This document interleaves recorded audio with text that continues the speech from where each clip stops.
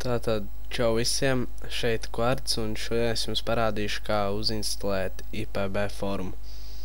Uh, no sākuma jums vajadzētu viņu nolādēt, bet es linku jau būšu iedavis uh, YouTube descriptionā. Tātad, ejam uz nolādēto failu. Es izmantoju jaunāko IPB versiju, tas ir 3.2.3. Un tātad, kad jūs esat atvēruši ar failu, šeit būs vairākas mapas, taču būtībā šīs trīs, kuras es iezīmēju, mums nav vajadzīgs.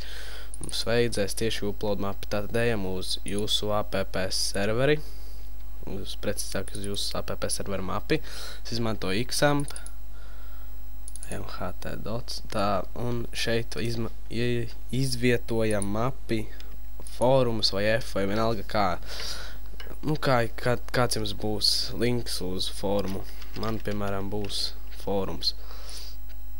Visus šos failus iezīmējam un ieliekam šajā mapē, kur jūs izveidojāt.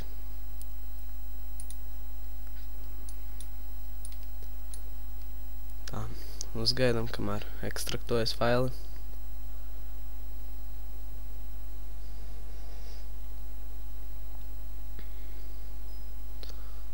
Un faili ir ievietoti. Pārbaudam, viss ir. Tālāk, kas jums jādara, jums vajadzētu izveidot jaunu datu bāzi, ko jūs varat izdarīt localhost phpMyAdmin. Šeit uzreiz ir create new database, un tur, piemēram, rakstam forums. Spiežam create database form has been created. Tad viss ir. Šeit arī uzreiz parādas. Tā, tā. Tālāk ejam uz mūsu linku, uz kuru mēs iedavām. Tad man bija localhost, lipsvītra forums.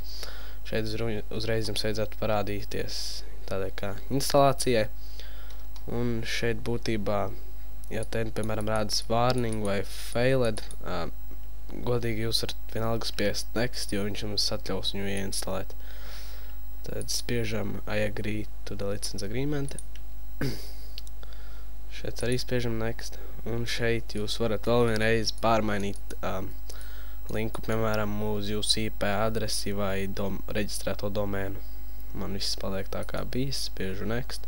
Licences skate tur neko nerakstam, spiežam next.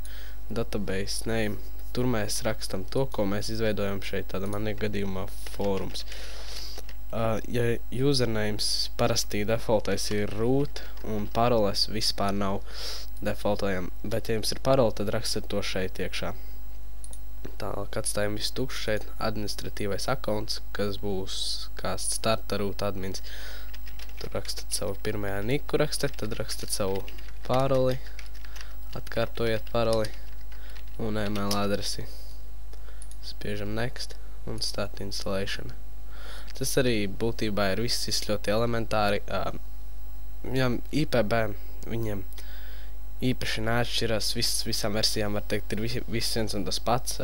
Tāpat viss instalēs un um, kad, kad beigsies instalācija, es te iepauzēšu, bet kad beigsies instalācija, es atpauzēšu un parādīšu, kā jums viss, kā viss izskatās un kā visam vajadzēs sanākt. Tad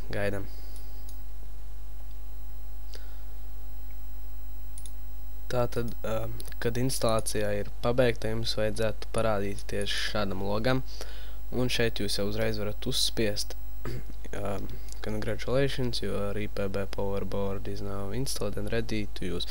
Uzreiz varat uzspiest jau uz šo un skatīties, kas notiek. Vai jūsu forums ir korekti uzinstalēts. Un jā, man viss ir pareizi. Tātad Tas bija arī viss. Domāju, ka ļoti elementāri. Cerams, ka viss varēs saprast. Un paldies par skatīšanos. Tiksimies nākamajā reizē.